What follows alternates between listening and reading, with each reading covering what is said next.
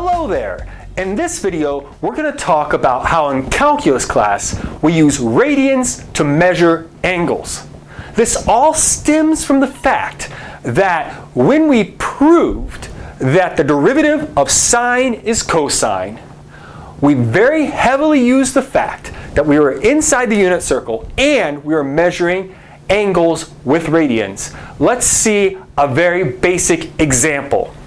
To start, let's look at sine of x degrees. Now, we know what this basically looks like. It's gonna, it's gonna move up and, and maybe just to be that complete, I can continue the graph some. But it's gonna go up, it's gonna have a local max at 90 degrees, it's gonna come back down at 180 degrees, come back down, have a local min at 270 degrees, and then be zero at 360 degrees. This is what sine of x degrees looks like. And so there's a question that we can ask we can ask, does sine of, does the derivative with respect to x of sine of x degrees equal cosine of x degrees? Is that true? Well, let's look at the, um, let's look right here at, at, at x equals 0. That's at 0 degrees. Hmm.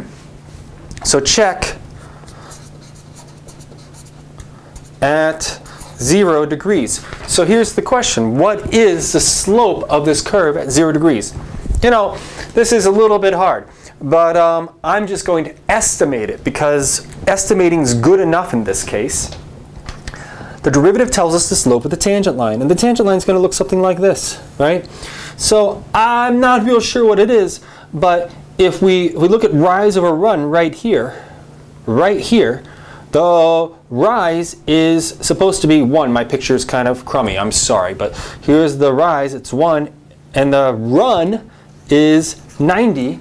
And so the slope of the tangent line of x degrees, that's about 1 over 90. It's a little bit, uh, it's, it's, it's a little bit, if this is, this is actually 1 here, so this is higher. So in, in fact, it's a little bit bigger, but not that much bigger. It's just a little bit bigger. It's about 1 over 90. What is cosine of, uh, of 0 degrees? Well, cosine of 0 is, this is equal to 1. Look, I don't care how much this difference is right here. This slope of the tangent line, 1 over 90, is nowhere near 1. These cannot be equal. But it gets even worse. Let's see another example.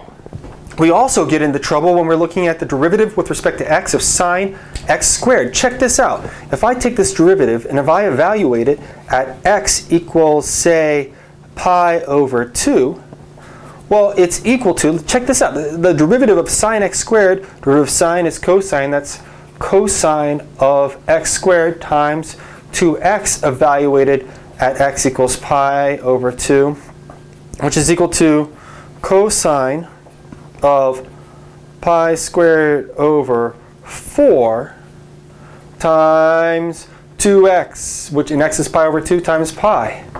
All right, that's great. But what if I evaluate this thing, d over dx of sine of x squared, evaluated at x equals 90. Uh-huh. This is equal to cosine of x squared times 2x evaluated at x equals 90.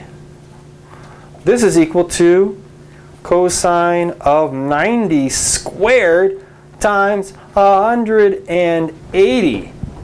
Now look, uh, 90 squared is th these these things here are not equal. How how do we reconcile this? Are, are, there is there any sort of way that we can make sense out of this? So how do we reconcile uh, the, this this this fact? Well, the first way is the easiest way. It is always work in radians. That's the, that's the first way to reconcile what's going on here. The other way to reconcile this, too, is you think of this degree sign as meaning uh, say I'm putting x degrees, that's not x to the zero, it's supposed to be x degrees, as meaning x times pi over 180. And if you think of x degrees as meaning this, then let's think about uh, our previous examples, okay? So think about this. So if we have derivative uh, d over dx of sine of x degrees, this is equal to d over dx of sine of x times pi over 180, which is equal to Aha, by the chain rule, pi over 180 times cosine of x times pi over 180, which is equal to pi over 180 times cosine of x degrees. Let's look at our other example now. And so we had derivative with respect to x is sine of x squared.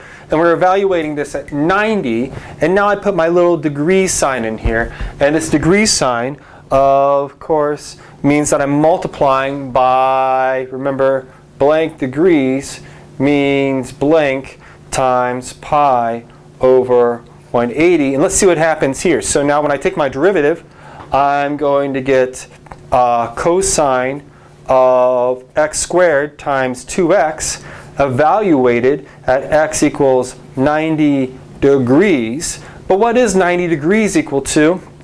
This is cosine of x squared times 2x evaluated. Well, 90 times pi over 180, that's x equals pi over 2. And so this is going to give us the same answer, cosine of pi squared over 4 all times pi which is the correct answer.